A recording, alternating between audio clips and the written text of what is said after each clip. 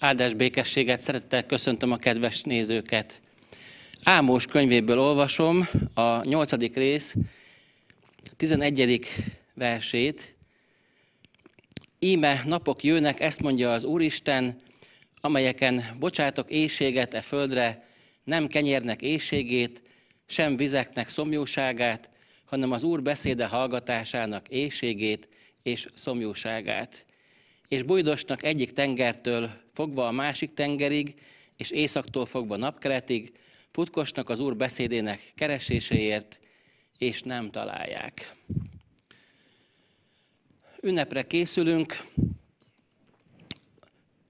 történelmi ünnepre, amelynek népi szimbóluma a dús kalász és a learatott búzából készült új kenyér.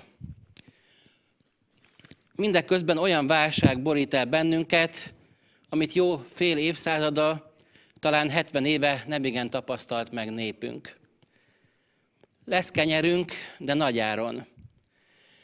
Egy leszázalékolt habi segélyének egy százalékát el fogja talán költeni egy darab kenyérre a következő időkben.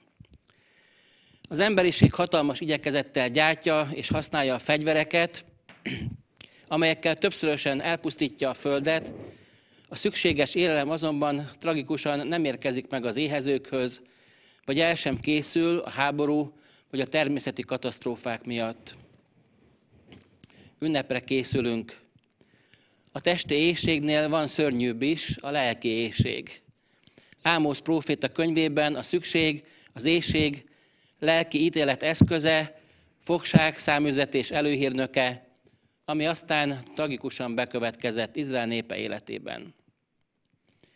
És tudjuk, hogy ami megiratott, az a mi tanulságunkra iratott meg, tehát itt nem csak Izrael népéről van szó, hanem mindannyiunkról. Az emberiségről és benne a mi nemzetünkről.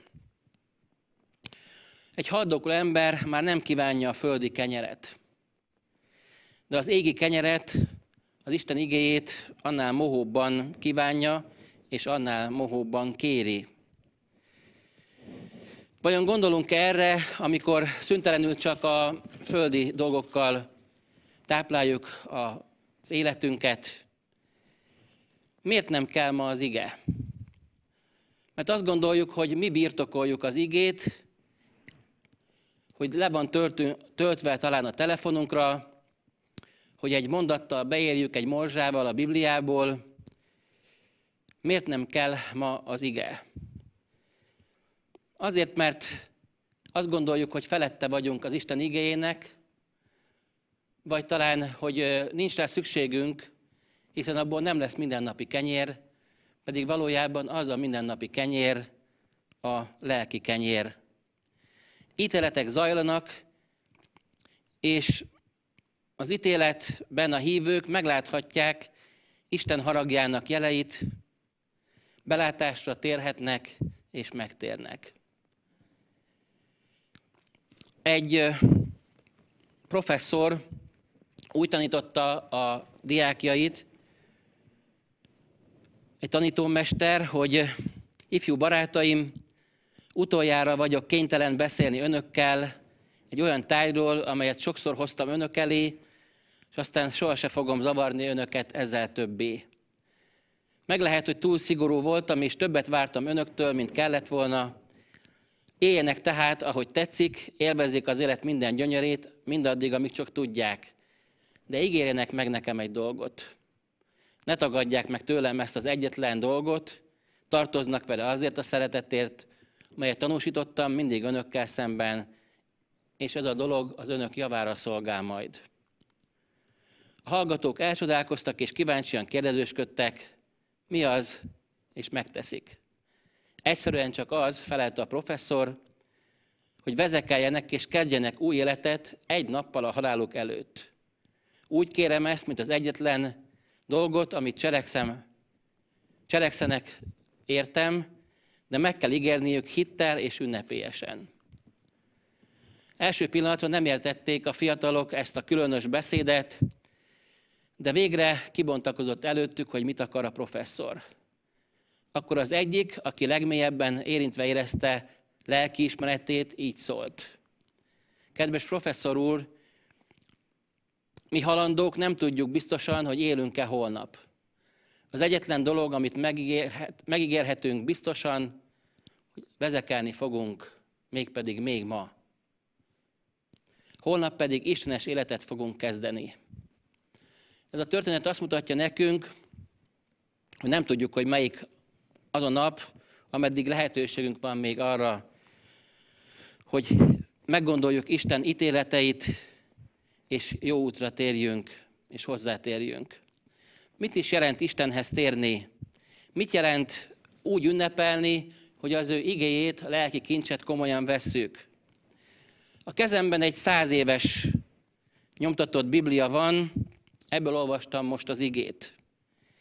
Egy gyöngyösre költözött család Bibliája, feljegyzésekkel, a tartalomjegyzékének a hátlapján, amely ugye itt az elején található,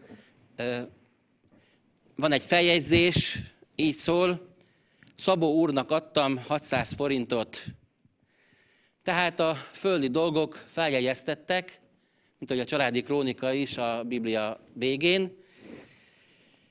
A Biblia kiadója, a Brit és Külföldi Biblia Társulat, amely 1804-ben alakult meg Londonban, hogy nemzeti nyelvű bibliákkal lássa el a világot. Ennek a Biblia társulatnak a kiadványai aztán két évszázadon keresztül özönlöttek a világba, és még ma is, különböző nemzeti nyelveken, hogy elvigyék a Bibliát. Hogyan alakult meg ez a társulat? Úgy, hogy egy kislány, aki nyolc éves volt, elkezdett gyűjteni arra, és hat évig gyűjtött, hogy nemzeti nyelvű Bibliája legyen, egy velszi kislány. És amikor 14 éves lett, az 1800-as esztendőben 41 kilométert, 9 órai gyalogutat tett meg, hogy megvásárolja a Bibliát abban a városban, amelyben a lelkész lakott. És ennek a kislánynak az útja úgy megérintette a lelkipásztort, aki a saját Bibliáját adta oda, vagy egy olyan Bibliát, amit másnak szánt, hogy utána Londonba utazott, és azzal a javaslattal állt elő, hogy alapítsák meg ezt a nemzeti nyelven Bibliát kiadó Bibliatársulatot. Hány családban volt ilyen Biblia? Hány családban van ilyen Biblia? Olvasták-e, olvassuk-e a Bibliát? Mert Isten azt mondja, hogy ha odafigyelünk arra, amit ő megparancsol, akkor nem hagy bennünket, nem hagy bennünket kenyér nélkül. Ézsaiás könyvében olvassuk, aki igazságban jár, igazat szól, aki megutálja a családságból való nyereséget, aki kezeit megoltalmazza ajándék vételtől, aki bedugja fülét, hogy ne halljon kegyetlenséget, és szemeit befogja, hogy ne lásson gonoszt. Ez így ember magasságban lakozik, ennek oltalma kőszikláknak bástyája, az ő kenyere megadatik, az ő vizei megmaradnak. Az ő kenyere megadatik, mint ahogy Mózes harmadik könyvében is ezt olvashatjuk. Ha az én rendeléseimben jártok, és az én parancsolataimat megtartjátok, és azokat cseleked, cselekedeinditek, elégséges kenyeret esztek, és nagy bátorsággal laktok a ti földeteken. Futnak az emberek, sokszor országról országra, kontinensről kontinensre, de vajon megtalálják-e az urat? Egy fiatal magyar kamionsofőr a 90-es évek közepén ember csempészet miatt egy németországi börtönbe került. Az egyetlen könyv, amiben a börtön könyvtárában magyarul hozzájutott, a Biblia volt. Lelkileg annyira éhes volt, hogy olvasni kezdte. És ezen keresztül oda talált az Isten élő szavához, élő szeretetéhez. Éhínség, lelki ítéletek közeledik felénk. Odaadtuk egy tál a testi kenyért, a lelkieket, mint ahogy Ézsau. Mégsem tértetek meg, mondja Ámosz próféta. Keresse hát az emberek maradéka az igazi lelki kenyeret, amely az örök életre megmarad, az Úr Jézus Krisztust, aki ezt mondja önmagáról, én vagyok az életnek ama kenyere, aki én hozzám jő, semmiképpen meg nem éhezik, és aki hisz én bennem, meg nem szomjóhozik soha. Ünnepeljünk tehát a lelki kenyérrel, az Úr Jézus beszédével, az ő szavával, melyet ha valaki vesz és megél, akkor mindig lesz kenyere, így legyen. Ámen.